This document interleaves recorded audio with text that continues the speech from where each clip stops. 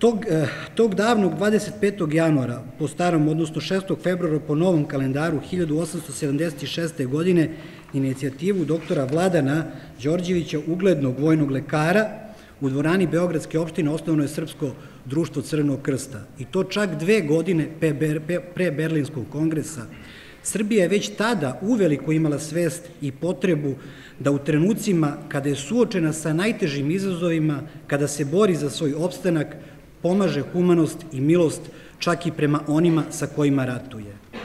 Srbija je jednako humana i danas, iako je suočena sa ništa manjim izazovima, iako je njen narod, a posebno na Kosovu i Metohiji, suočen sa svakim odsustvom humanosti i rekao bi prava na dostojanstven i život u miru. Bez obzira na okolnosti, Crveni krst Srbije uvek je bio podrška državi Srbije i srpskom narodu. Kao nesrećnih 90. godina, nakon pogroma na Kosovu i Metohiji, pa do izazova današnjice sa kojima smo se suočavali, kao što su poplave, migranska kriza, pandemija koronavirusa.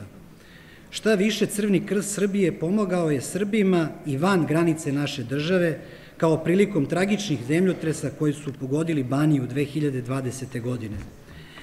I kao što je govorio Winston Churchill, u ratu odlučnost, u porazu prkost, u pobedi velikodušnost, u miru dobra volja.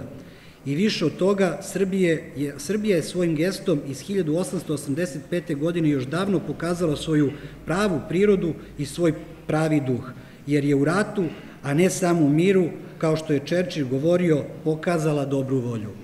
Bez obzira, bez obzira na težinu međunarodnih okolnosti i aktualnih istorijskih trenutaka, Republika Srbija će nastaviti, uveravam vas, pod mudrim rukovodstvom predsednika Aleksandra Vučića da se zalaže za očuvanje mira u regionu i dobrosusedskih odnosa.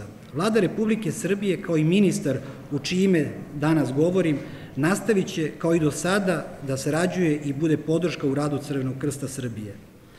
U skladu sa potpisanim sporazumom o saradnji sa Crvenim krstom Srbije od 9. marta 2022. godine nastavit ćemo da pomažemo realizaciju aktivnosti predviđenih programom podrške socijalno ugroženom stanovništvu, a koji sprovodi Crveni krst Srbije.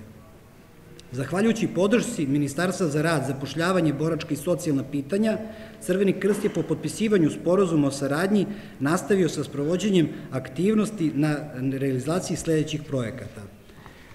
Program narodnih kuhinja koji obuhvata 32.429 korisnika u 78 e, narodnih kuhinja širom naše zemlje.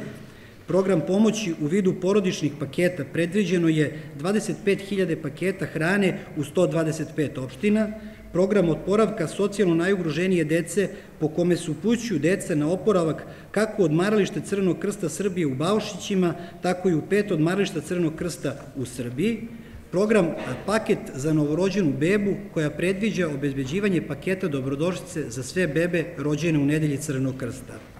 Ministarstvo za rad, boračka i socijalna pitanja Republike Srbije opredelilo je za ove troškove, za ove programe iznos od 535 miliona dinara za 2022-2023. godinu.